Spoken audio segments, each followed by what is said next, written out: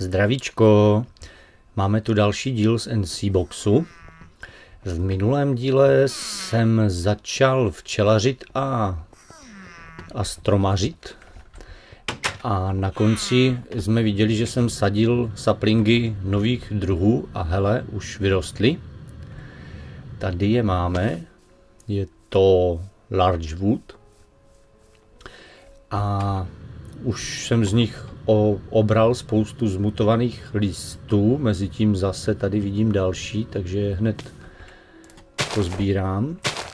Nově se urodí vší mutace, tady taky hezky. Tady. Pojď. Kde ještě? Tady ještě. A už se mi nazbíralo teda hodně těch, těch saplingů záhadných zmutovaných.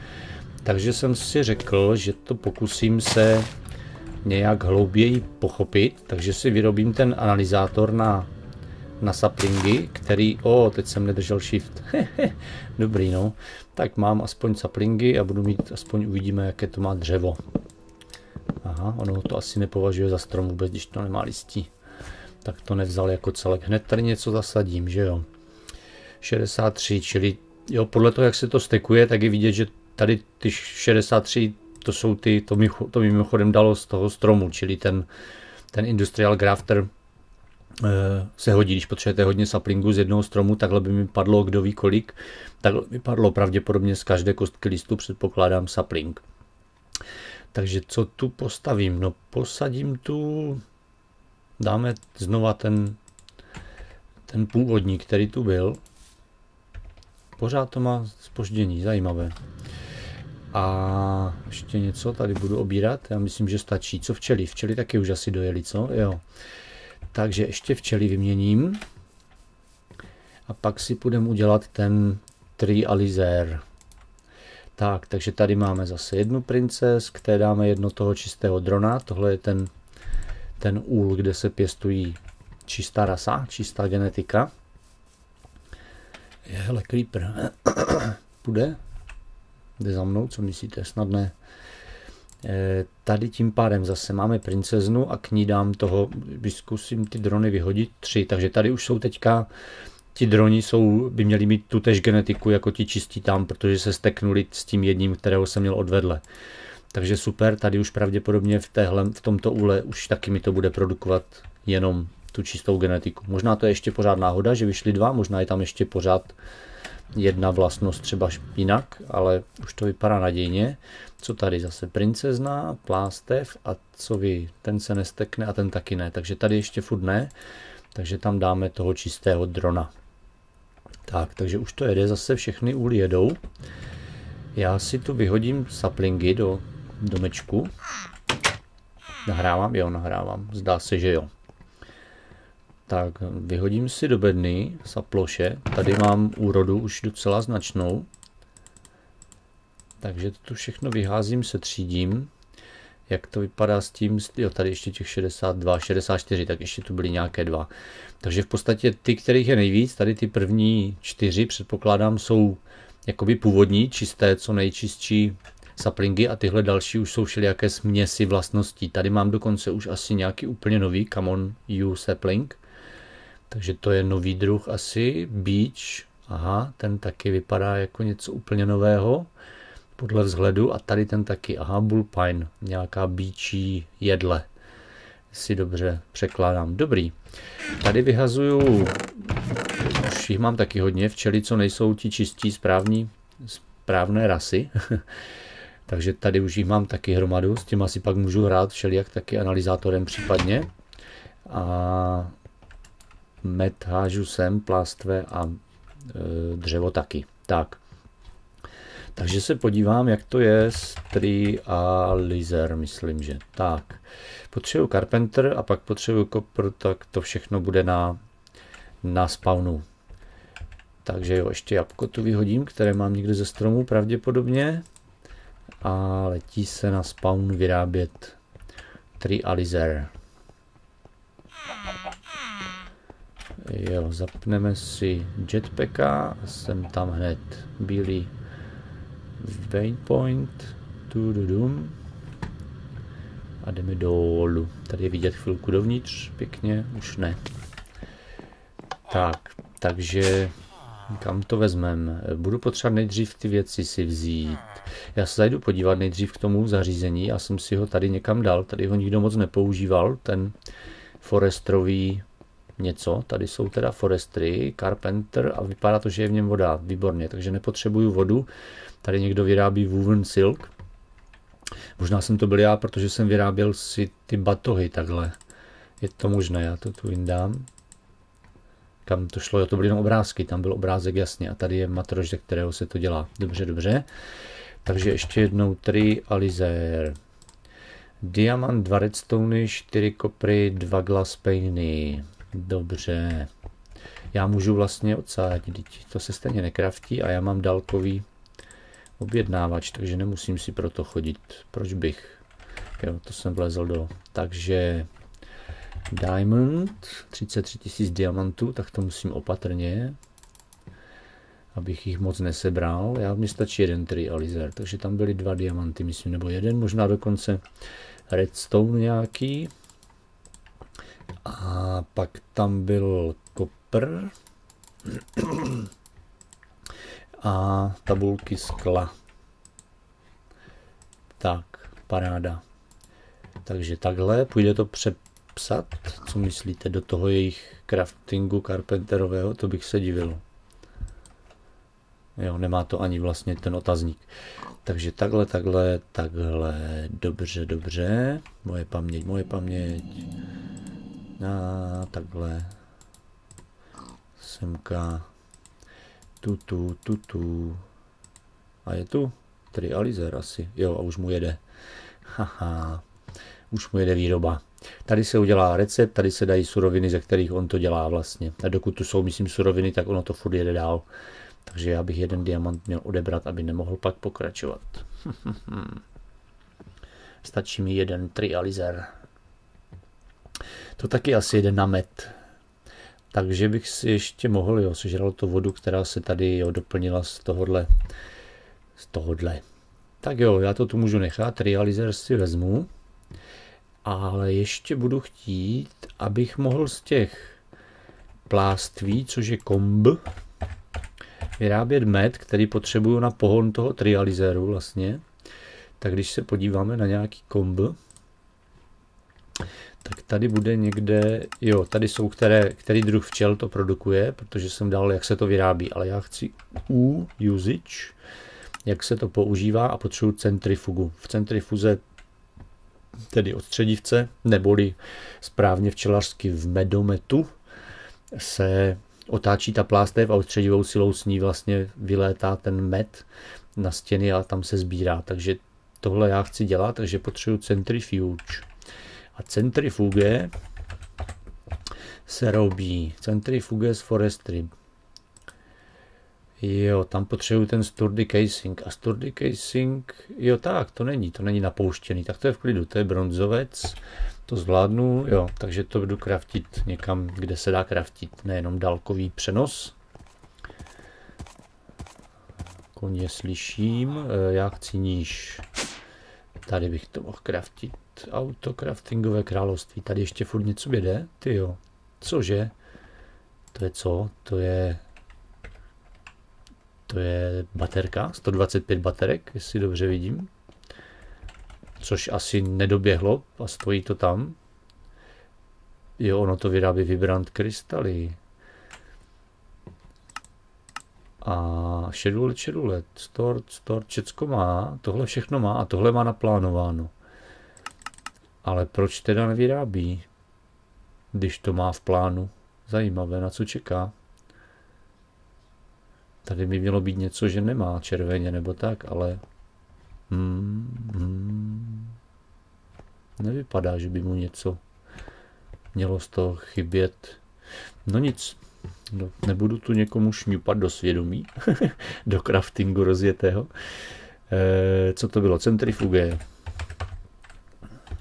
Centrifuge, kterou bych si vzal k sobě, ať nemusím pořád lítat a mohl bych si vyrábět. Dokonce je skladem sturdy casing, tak to šlo jednoduše. Takže děkuji centrálnímu craftingu. A jak to vypadá v Tulákově zdrojovně, tyjo, milion uhlí, jasně. Je to tu propojené, je to vidět, je to vidět, výborně. Fakt to. 42 tisíc, tady to končí 8 tisíc, takže všechny věci, které tu jsou, těch máme víc než 8 tisíc. Jako například 95 tisíc emeraldů, tyjo, šílené, šílené. Silikonu 109 tisíc, 186 tisíc kostí, 184 tisíc šípů. Někde tady jede ve velkém prales, se plundruje asi, když je tu tolik vines. Tady vlastně si ještě můžu vzít další stromky, jungle například, ano, jungle chci, z vanilového Minecraftu, které ještě potřebuju, ze kterých vlastně vycházím při tom křížení. Sapling spruce mám. Akácia je taky Minecraftová, aha, dobře. Tohle mám, tohle mám. To je rubber, to nic. Dark oak, ano. Eh, witchery, biomes, plenty. Witchery, biomes, nature, biomes, biomes, Towncraft. Takže to bude asi všechno z těch čistě Minecraftových zdrojů. Dobře, takže tři další druhy, které ještě nemám. Tak. Takže jo, takže to máme. Všecko jsem si vyrobil, zařídil, dobrý. Takže jdeme zpátky. Eh, šupky, engine, a jdem. Nová šadranová baráček. Doufám, že stihne vydat dřív než já, že neprozrazuju nebo tak něco. Takže tady mám teď ty stříbrné modré, už se tu teda rysují, mezi tím zmutovali další, ty to fakt jede. Já jsem to kdysi si hrál s těma včelama v singlu, jenom tak jako s obyčejnýma včelama, které mi přišly pod ruku a tam to takhle rychle nemutovalo. Opravdu zdá se, že ten správný druh, a hele motýl, máme prvního motýla, dívejte, motýl, motýl. Když máte, když máte totiž stromy a včely, tak přiletí motýly. S těma vůbec už jsem, na ty jsem se ještě vůbec nedíval, nevím k čemu jsou, dobří, vím, že se zase dají šlechtit a tak dále. Bude na ně asi nějaká síťka, kterou se budou chytat a bude na ně nějaký něco jako úl, nevím, nevím. Předpokládám, že z nich potom taky nějaké suroviny padají, nebo vlastně, že tam něco je, kvůli čemu jsou zajímaví. Ale o těch ještě nevím. Ale časem taky na ně dojde řada. Co včely ještě teda kontrola, tady už máme zase e, ten plástev. Tady máme taky plástev, už produkují tady ty furty v kombi, protože už to jsou opravdu salking včely, které tím pádem oni mají v popisku, že mají produkovat tady ty šedivé. Každý druh včely produkuje nějaký druh těch pláství a podle toho, co je to za plástev, tak podle toho odstředívka z toho vyrábí různé věci. Takže to zápětí uvidíme, odstředívku už si nesu, doufám, jo. Centrifugu. Tady máme energii, tak já to fláknu nad to hned a paráda. Tak, co to nemá? Nemá to recept. Tak tam vrazíme hned ty čtyři komby například. Fík a už to jede. A ostatně, když se podíváme účkem, tak z toho měl padat propolis. 20% šance, 35% šance honeydew a beeswax, ten eh, vosk. Honeydew je, nevím, to není honey, to je něco jiného. To jsou anglickou terminologii včelařskou neznám. Co, nic? Centrifugo? Měla by něco vyhodit. Už, jo, to bylo beeswax a dvě honeydew. Honeydew je to, čím můžu pohánět ten ostatně. Pojďme na něj. Jo, tady to vyžaduje kapku. Pro, dodejte sapling a zajištěte honey nebo honeydew jako katalyzátor. Takže já si tady můžu vytáhnout, ne, tady ne, tady mám ty včely, já si tady ty komby, všechny, případně všechny, abych si to mohl důkladně. Těch budu mít hodně, tady, že on, tyhle mám, tohle produkují zrovna ty včely, které mám teď všechny, takže těch šedivých teď budu mít čím dál víc. Těhle budou mít málo, protože to jsou komby, které padaly z těch původních včel, než jsem si je přešlechtil na tyhle šedivé včely. Takže tam pak třeba například tady tohodle by padalo ten ten vosk vždycky a 90% šance na med, čili ty jsou daleko jo, eh, efektnější, co se týče právě těch věcí, které potřebuju na ten analyzátor. Potřebuju med nebo medovou honeydew. Tam ten dával med v 90%. Tady ten dává honeydew v 35%, takže z toho bude jakoby méně. A Mundane Comp, ten má jaké? Ten háže Magic Wax, aha, to je totiž z Magic Bees asi. Jo, Beeswax a ten dává 60% honey šanci. A propolis dokonce. Takže máme zatím 10 kapek, můžu dát 10 analýz. Takže případně můžu met asi získat někdy od Ailuase nebo tak, to už je samozřejmě možnosti tu jsou. Takže dáme tu 10 kapek a teď jde o to, jaké saplingy si vyberu. Takže tady ty vypadají zajímavé. Zkusíme zjistit, co jsou zač. Jmenují se Common U. Když ho tu dám, tak mi to zanalizuje. Typově je to Common U čistě, takže už by to nemělo samo se změnit něco jiného. Když to teď zasadím, tak by z toho měl vyrůst Common U, si myslím. Saplingy asi, jak často z toho, jaký je poměr padajících saplingů, výška je to vysoký strom, gird. To je velikost, eh, myslím, že to je velikost, kolik musíte vynechat kolem saplingu, aby vyrostl, jakoby, jo, šířka kmene svým způsobem. Nebo možná je to přímo šířka kmene. Možná tam bude, že pralesní mají 2x2, není to ten, může být. Sapines je, kolik z toho padá potom oleje, když to, nebo kapaliny takové, která ve forestry se používá jako palivo, to asi nic moc. Nemá, není to nehořlavé a takové věci. Eh, lehký růst nebo co, hlínu, jakou to potřebuje, asi co, co toleruje za podmínky různé okolní a nemá žádné fruits. Jo? Tam pak vyšlechtíme i třešně, švestky a takové věci a ty budou mít nějaké asi už pak plody. Neprodukuje nic. Mutace žádné a tady jsou vždycky takové jako spíš zábavné info. Takže tohle byl ten a má, díval jsem se, jo, on má všechny stejné, takže jak, jakoby stabilní. Když ho teď zasadím, tak by z toho měl vyrůst strom, ze kterého, když se beru saplingy nezmutované, tak budou mít to samé, ten samý, tu samou vlastnost si myslím, že tohle by, jo, já teď tak jako lehce si domýšlím, lehce vysvětluju, e, berte to s rezervou. Takže to je tenhle, ještě se stekuje, nejít nestekuje, protože tenhle už je analyzovaný a ten druhý ne, ale přitom jsou to stejné. Hm. Podíval bych se teda na nějaký ten, tady ten složitý. Vezměme třeba Mundane Large. Ten bude podle toho, že se nestekuje, tak si myslím, že bude směska větší. Bude mít zajímavější tu genetiku. Ano. Jo, je to směs Apple Oak a Mundane Large. Apple Oak je ten normální oak. Takže si myslím, že eh, když vyroste potom ten strom, tak z toho budou padat saplingy možná obou druhů nebo něco takového, nebo když to pak zmutuje, tak ve výsledku bude to nebo to. Jo. Tenhle má, ten má opravdu divoký, jak vidíte, eh, rychle, rychle dozrává nebo průměrně dozrává, výška malá nebo, nebo průměrná a tak dále. Takže tenhle sapling je takový jako divočejší. Ale zatím moc nevím, co z toho plyne stejně. Takže si to tady, jo, já si zasadím teď ty tři druhy plus tady ten nový druh. Ty můžu oba a tady ten jsme říkali, že taky je nějaký nový a ještě nějaký zvláštní, tenhle je zvláštní Common Bleach, OK.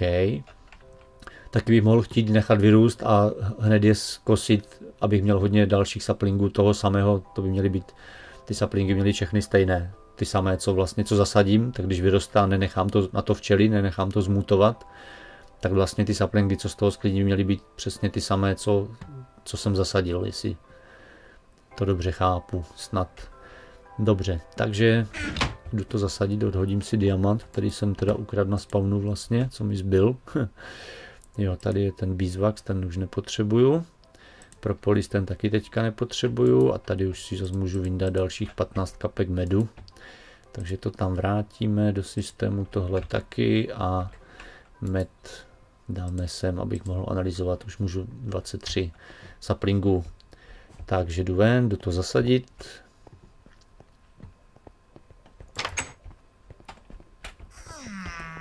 tady to zazmutuje. Ha, ha, ha. Tady to fičí, no hezky. Já si ho zasadím asi dál teďka, aby na něho včely tak jednoduše nemohli. a abych si ten sapling vlastně i mohl tím pádem, ježiš, to je spoždění, mohl namnožit. A aspoň uvidím, jak ten strom teda vypadá. Ještě jeden, tak třetí dáme třeba sem. To je divné to spoždění. Přitom jako jenom tady, při tom sázení, jinak to moc nikde nevnímám. To je ten bullpine, ty mám tři, takže kam zkusíme právě různě, kolik potřebují místa, zároveň asi možná zjistím, že třeba nevyroste ten sapling. Je tu, je tu. Dáme jeden tady taky na vyvýšeninu. A teď mám, to už jsou ty klasické Jungle, Darkou a Acacia. Ty se musí, pokud vím, sadit no Jungle. Ten se musí nějaké 2x2, ne? To bude masakr. A to samé Dark Oak, kde bych to mohl kolem nějakého úlu ještě, tak dáme tady Dark Oak. A akácie tam myslím nepotřebuje žádné čtyřikrát. Tak. Takže to nechám teď růst, zase budu tu sbírat zmutované saplingy a natočím, až to vyroste. Tady už zase vyrostl další ten. Large. Si nastuduju asi do příště české názvy. Uvidíme.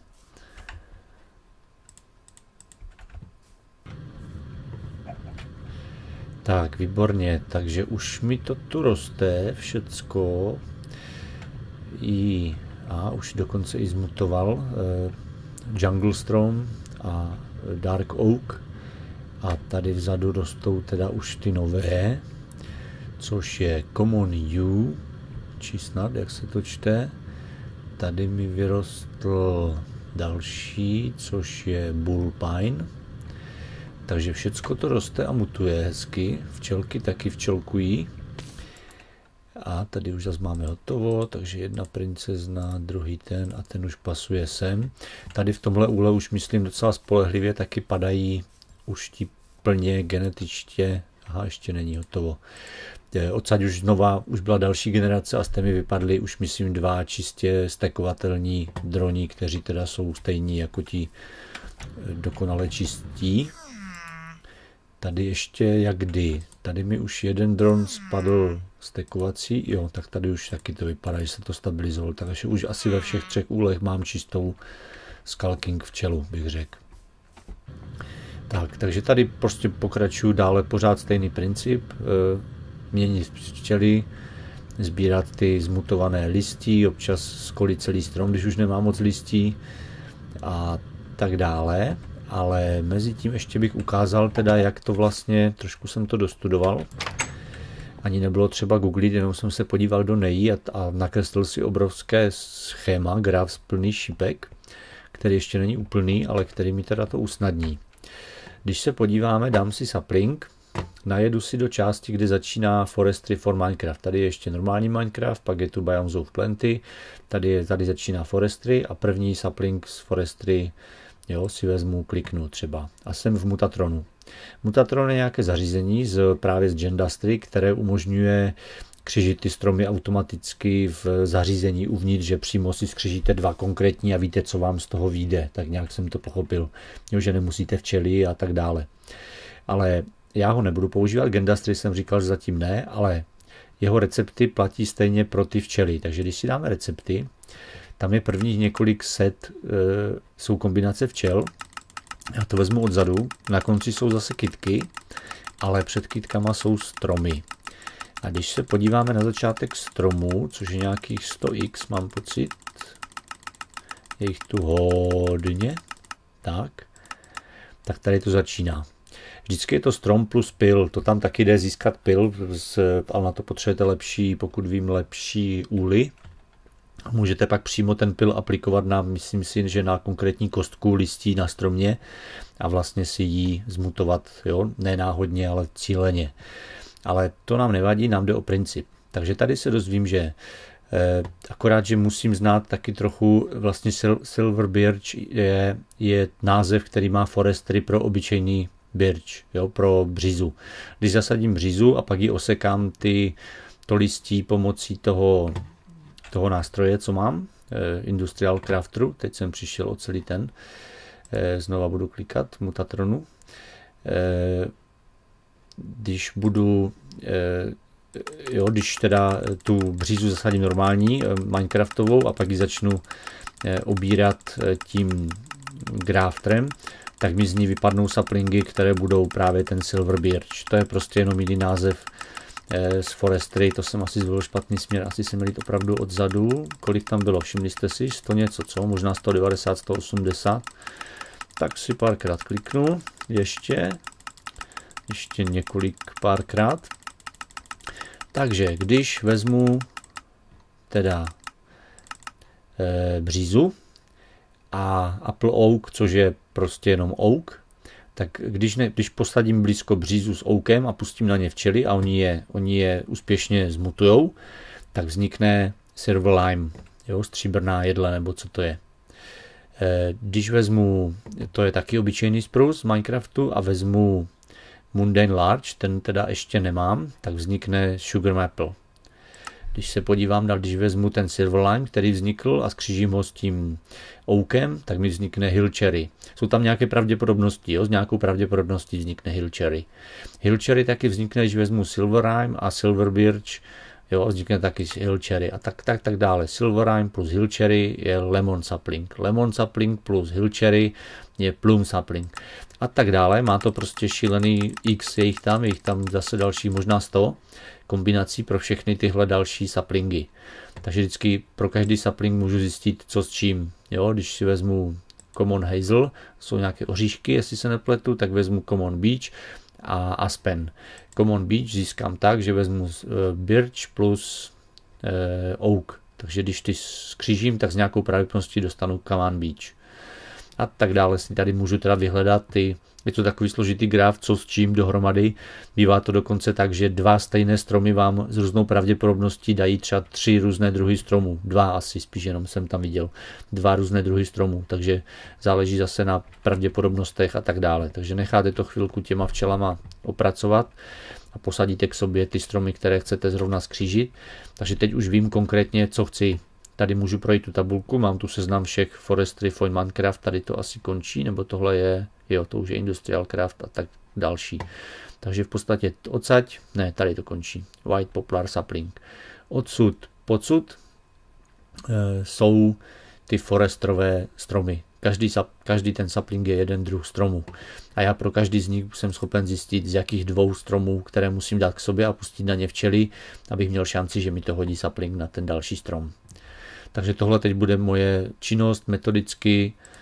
Eh, jo, tady vidět, že to je, když na to kliknu a nemá to žádný ten mutatronový recept, jenom se to dá najít v šestkách, tak to znamená, že to je ten původní Minecraftový vlastně, který se nešlechtí z ničeho, ten je na začátku. Tak samo je tu Dark Oak, ten taky nejde, tady je ten Oak samotný, čistý, tenhle už jo, jo, to je Dwarf Hazel, ten má, ale ještě to pokračuje Silverlime, jo, ten má taky, jo, ty všichni jsou už geneticky z něčeho. A tady zase bylo něco, co je jenom asi, jo, tady. Red Spruce, jasně, to je klasický spruce z Minecraftu. Takže tady mám návod, jak na to. Takže já teď půjdu metodicky, některé už vlastně jsem, některých už jsem dosáhl, některé ty saplingy už mám, ty e, nové, křížené, a už vím, které další, co z má vlastně musím dělat, co s čím dát dohromady, abych získal zase další.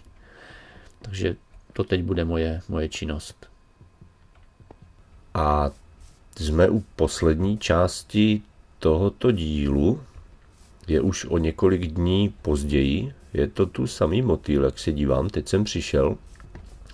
E, samozřejmě běželo to tu několik dní, takže včely jsou všechny jakoby potřebované, řekněme. Cyklus jejich životní jeden zrovna skončil, že jo, musím je vytáhnout a zase tam vložit takže nějak extra mutací asi neproběhlo, stromy tu jenom tak jenom si tak rostly. A tak to mám radost, tady mutace z toho stromu, ty moc ty jsou vzácné. E, takže si teď, e, jak jsme viděli před chvílí, ukazoval jsem ten princip, jak se dá zjistit, z jakých stromů se skládají ty jiné stromy, co s čím skombinovat, abych dostal ten správný strom. Takže já to teď tady, ty motýly, fakt pěkné, hodně. hodně motýlů, nevím jestli hodně pěkné. A takže já teď udělám to, že to tu celé vysekám, komplet to tu zase vy, vyvraždím. A e, ještě si tu právě z těch, z těch stromů, které mi moc mutovat nechtěli, tak z těch si vezmu listy. A všechno to tu vysekám a začnu už teď metodicky s tím, že si tu vždycky vysadím jenom ty dva druhy stromů, které chci kvůli tomu, že z nich chci získat nějaký konkrétní jo, výsledný strom.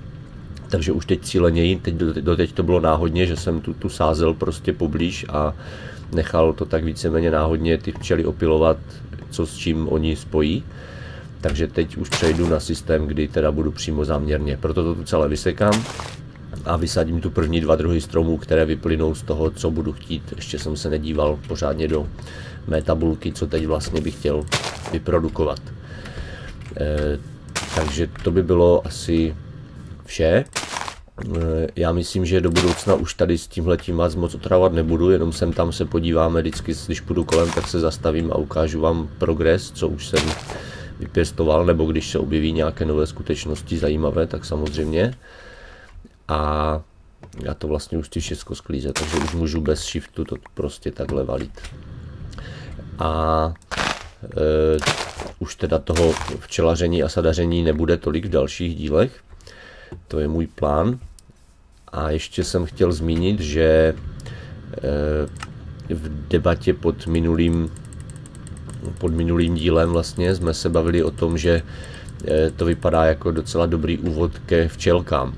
Tak bych vás chtěl varovat, že tohle není dobrý úvod ke včelkám, e, protože na rozdíl od opravdu toho, když začínáte se včelkama, tak eh, já jsem dostal od Ailujase vlastně už hotovou včelu s parametrama, s parametry, které jsem chtěl. Jo, dostal jsem včely, které měly vysoký, vysoké opilování.